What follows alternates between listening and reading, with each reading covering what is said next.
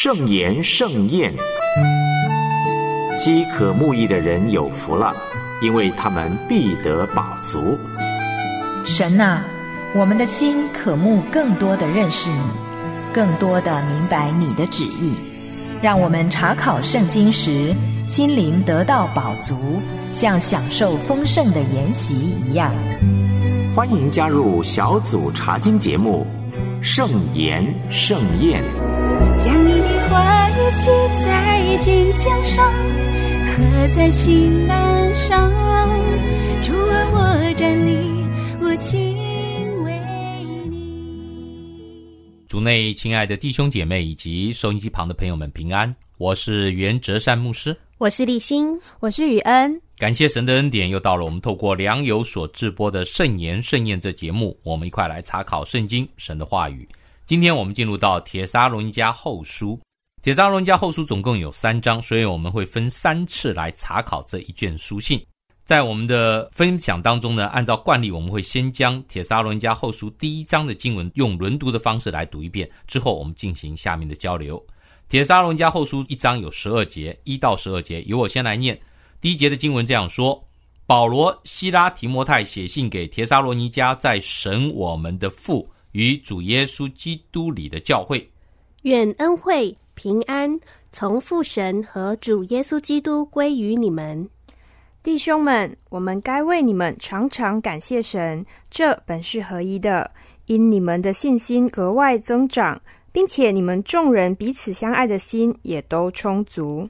甚至我们在神的各教会里为你们夸口，都因你们在所受的一切逼迫患难中。仍旧存忍耐和信心，这正是神公义判断的明证，叫你们可算配得神的国。你们就是为这国受苦。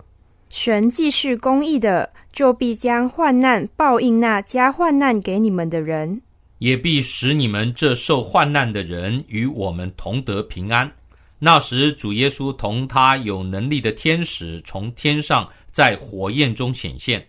要报应那不认识神和那不听从我主耶稣福音的人，他们要受刑罚，就是永远沉沦，离开主的面和他全能的荣光。这正是主降临，要在他圣徒的身上得荣耀，又在一切信的人身上显为稀奇的那日子。我们对你们做的见证，你们也信了。因此，我们常为你们祷告。愿我们的神看你们配得过所蒙的照，又用大能成就你们一切所羡慕的良善和一切因信心所做的功夫，叫我们主耶稣的名在你们身上得荣耀，你们也在他身上得荣耀，都照着我们的神并主耶稣基督的恩。好，经文就读到这里。我们还是用所谓的简易的归纳法，就是观察、解释、应用。我们先来看这段经文，看到些什么，或是重要的字词，对我们有什么样的一个提醒？我们先来观察。袁牧师，我想先提一个问题，就是保罗为什么会在写了《铁萨罗尼迦前书》之后，又要再写一个后书呢？嗯，这其实是我们每一卷书信之前应该先要讨论的哈。好，谢谢你的问题。那么我们现在就来先要讨论，先要来明白《铁萨罗尼迦前书》的写作跟后书的写作之间的距离其实是蛮短的了，很短的一段时间。重点是前面的。前书保罗写完之后，就让提摩太带过去，因为保罗听到提摩太从铁沙罗家来告诉他消息，那保罗是在哥林多那时候在宣教，啊，知道了铁沙罗家教会信息之后，他就立刻写信，这是在我们前书看到的。写后书的原因是因为当前书写完之后，保罗想说，这下子对于帖撒罗尼迦教会哈，他们的弟兄姐妹应该有个正面的一个教导了，因为他一直想去嘛，现在不能去，那写封信去，就没想到在前书上面的这些教导呢，竟然教会里面的弟兄姊妹甚至有一些错误的观念，反而在这当中呢衍生出来了。保罗原来是用耶稣基督再来的提醒，鼓励弟兄姐妹在苦难当中要持守，结果。有人特别故意在里面做一些搅扰的工作，以至于他们说：“反正耶稣基督要再来，所以呢，我们就不用做事了，啊，我们就等着耶稣来嘛。每天就在教会里面游手好闲。所以保罗在这里要再写一封信去告诉他们说：我不是这个意思。嗯，后书就是要来解释他们对前书的一些误解。当然，更重要的是，保罗还在鼓励他们。所以一开始我们就看到，保罗每一次在书信当中呢，是因为出问题他才写信呢，但是他不会说我立刻单刀直入的就是要责备你们的问题在哪里。他要先跟他们有一个亲密的一个组里面的一个交谊，我们说的是一种团契的生活。所以在经文当中，除了问安之后，我们来看经文第三节，他一开始还是说我们该为你们常常感谢神。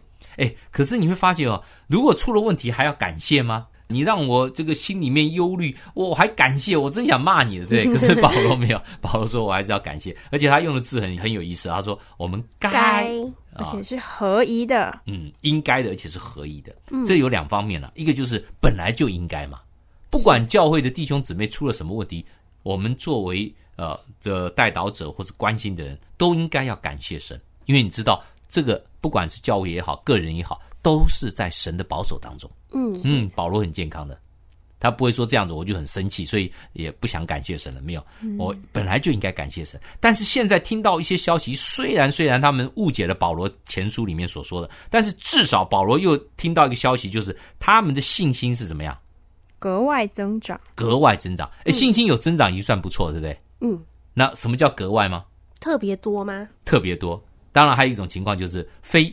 预期所能够想象的，或是在意料之外。是我在想，你们受苦大概啊撑不住了。哎，没想到竟然 哎还不错哦啊！这格外就是说已经不错了，而且还更多的。嗯，这是一种夸奖，真的是一个夸奖哈。那当然，保罗不是随便夸的啦，是有原因的。所以说，你们是格外的增长，而且你们众人彼此相爱的心也都充足，甚至呢，让保罗在神的各教会为他们都夸口。为什么？因为保罗在宣教嘛，到一个地方，人家就说：“啊，你过去怎样？哦，我告诉你哦，铁沙录音家教会这个教会受到多大苦难，我在那里啊。”保罗就开始就讲到这个教会有很好的信心的见证。嗯，特别又提到说，因为他们所受的一切逼迫患难呢，人就会有忍耐和信心。这很不容易，真的不容易啊。那至少保罗觉得他们在信仰当中遇到患难的时候，能够站立得住了。好，那在下面呢，看到什么呢？我想要问一个问题，嗯，就是为什么他们在逼迫患难当中的忍耐和信心，会是神公义判断的明证呢？啊，这里面其实这一句话又要一直延到后面，就是在信仰生活当中，因为他们在患难当中仍然站立得住，表示说神的公义、神的最后的审判呢，是他们持守的，等于说他们是一个见证人。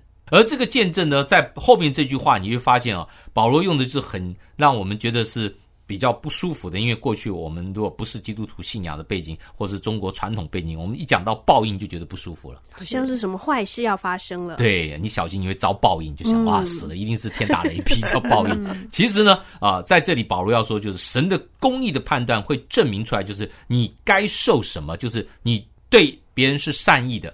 或者恩待神的儿女的话，那神当然报应就是什么？是好的，是正面的。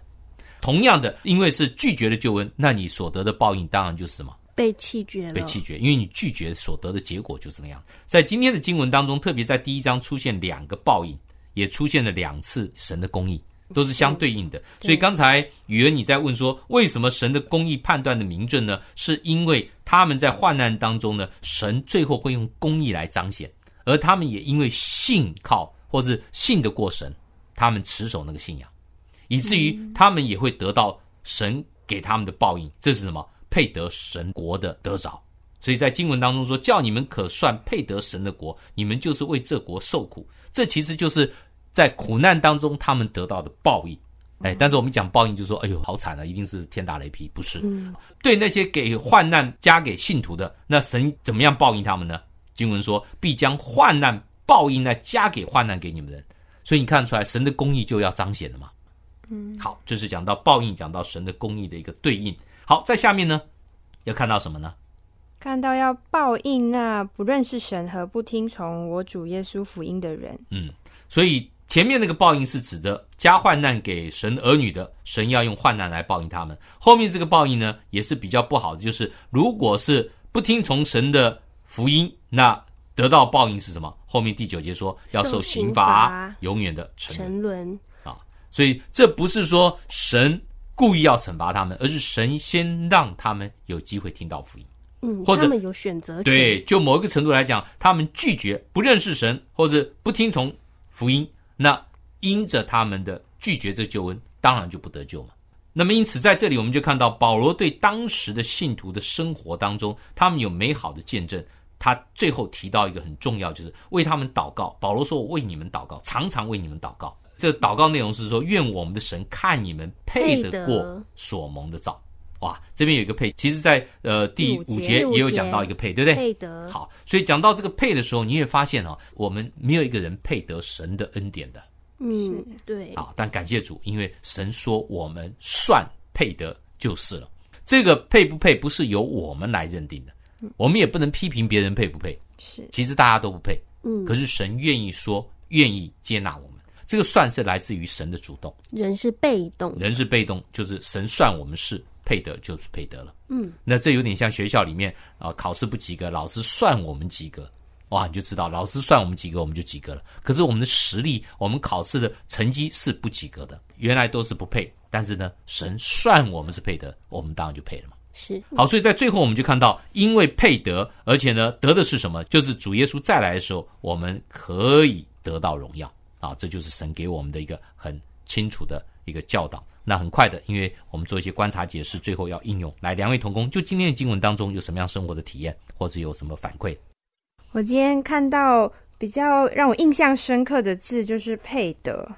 我觉得其实没有谁配得，若不是神的恩典，就是我们怎么可能配得神的国，配得神的选召呢？嗯，那就是因着我们听从耶稣基督的福音，因着我们愿意顺服神的话语，我们可以得着这个配得的恩典，并且就是十一节的配得前面说是愿我们的神看你们配得，就是是神来看。这边讲到公义的判断，也是主权在神。是那戴国的提醒，就是在面对很多不公义的事情啊，或是面对我们自己怎么看自己、看别人，就是更多的知道是用神的眼光，也像保罗知道主权是在神的。嗯所以我们自己配得要感恩，然后看别人有时候是觉得人家不配得，也不要批评人家，是因为其实大家都一样是不配得的。是好，这是一个生活上体验。在立新呢？我今天看到保罗称赞那个铁撒罗尼迦教会，在一切的逼迫患难中，仍旧存忍耐和信心。我觉得他们真的是很不容易，很值得我们学习。因为忍耐其实是一个很重要的功课，有有很多种的忍耐，包括在迫害之中，你忍耐不发怨言，包括嗯不对神抱怨，然后也不抱怨人，也不抱怨环境，然后忍耐着不放弃这个信仰，然后要忍耐不会因血气而行事，比如说去骂人啊，或是去打人，或是去报复别人等等。这忍耐其实有很多很多东西要忍耐，而且这不但不容易，他们不是无奈的忍耐，而是带着信心的忍耐。这是一种嗯很积极、带着盼望的。我想时间越长，这个忍耐越不容易。铁萨罗尼家教会的人已经给我们做了很好的榜样，也是保罗所称赞的。嗯，好，感谢主，我们是有盼望的啊，所以能够继续忍耐。这是今天的节目当中呢，我们的分享以及我们的交流。节目进行在这也接近尾声了，在这呢要跟您说再会了。我是原则站牧师，我是立新，我是雨恩，愿神赐您平安喜乐。拜拜